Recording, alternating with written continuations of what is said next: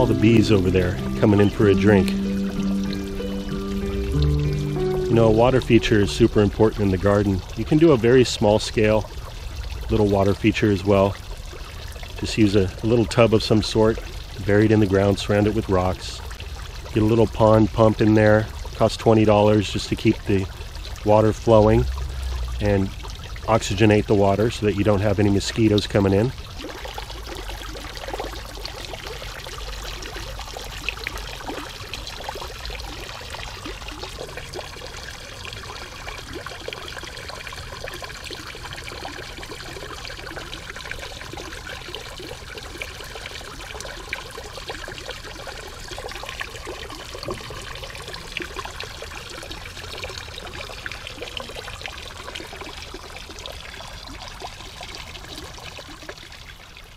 A benefit to having a fish pond if you're a gardener is you've also got access now to free fertilizer water on demand.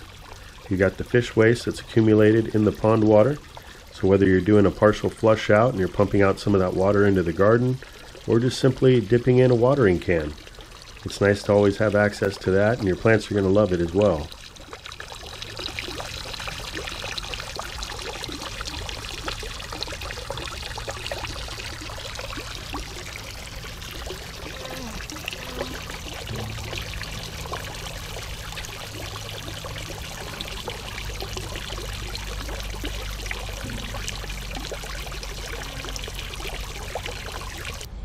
So at the very least, I hope you at least have a bird bath in your garden or a bird water, something that they can come in and take a little bath, get a drink.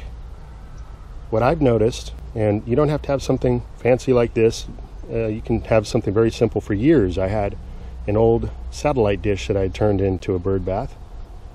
But what I've noticed is that when I keep the bath replenished with fresh water, the fruit on my trees see very little damage from the birds. And there are a lot of birds in my garden, my friends.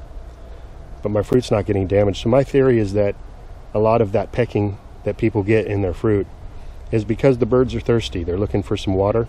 Obviously, fruits are high in water and they're getting it that way. So consider putting a bird bath in your garden as a way to help to satiate the birds.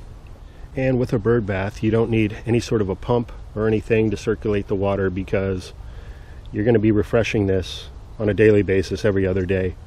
So hopefully you're getting out to your garden that often. Here's another reason for you to be getting out there.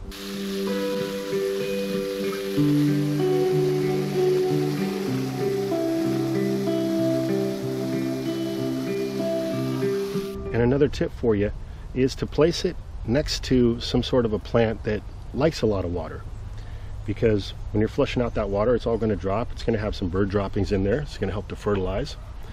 So just place it in an area where you've got a plant that needs some water. And also, you can see I chose this shrub here, which is blocking out midday sun.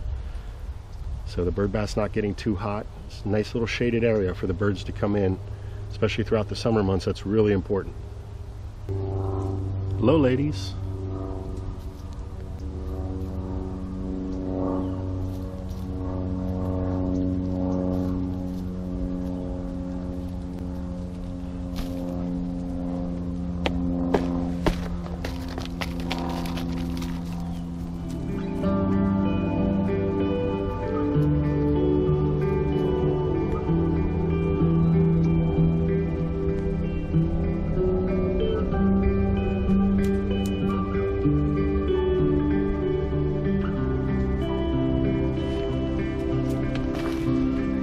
Take care, everybody. I'll be talking to you again soon.